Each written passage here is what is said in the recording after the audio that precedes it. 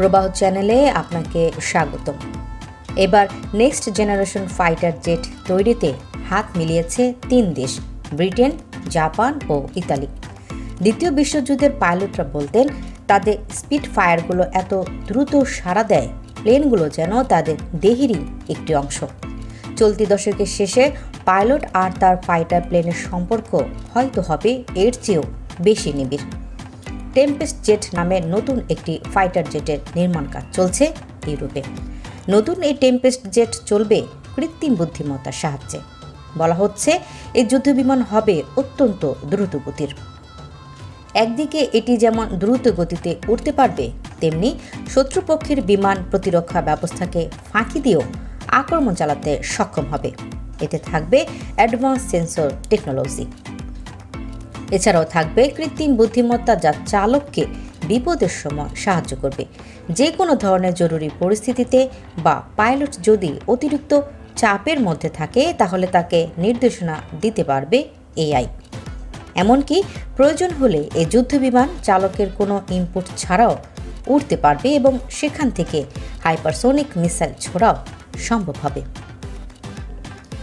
BBC জানিয়েছে, Tempest নির্মাণে একযোগে কাজ করছে যুক্তরাজ্যের BAE systems, Rolls Royals European missile group, MDBA এবং ইতালি ভিত্তিক সমরাস্ত্র নির্মাতা কোম্পানি লিওনার্দো। পুরো ব্যবস্থাটি নির্ভর করছে ফাইটার জেটের জন্য তৈরি নতুন ইঞ্জিনের ওপর। কেবল টেম্পেস্ট ফাইটার জেট নয়, এর সম্পূর্ণ ডিজিটাল অবকাঠামোর জন্য বিদ্যুৎ সরবরাহ হবে রোলস রয়্যালসের তৈরি ইঞ্জিন থেকে। আর বিপুল পরিমাণ ডেটা বিশ্লেষণের চাপে ল্যাপটপ কম্পিউটারের মতো ফাইটার প্লেনও উত্তপ্ত হয়ে ওঠার আশঙ্কা আছে। তাই যথেষ্ট শক্তি সরবরাহ করার পাশাপাশি বাড়তি তাপ থেকে ফাইটার জেটকে রক্ষা করার কৌশল নিয়ে ভাবতে হচ্ছে রোলস রয়্যালসের প্রকৌশলীদের।